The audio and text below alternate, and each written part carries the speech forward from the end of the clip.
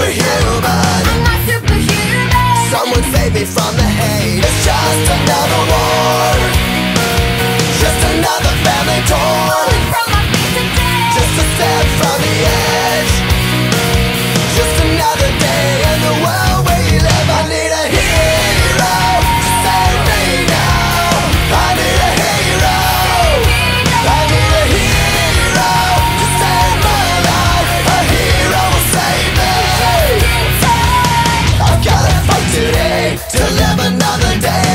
and I know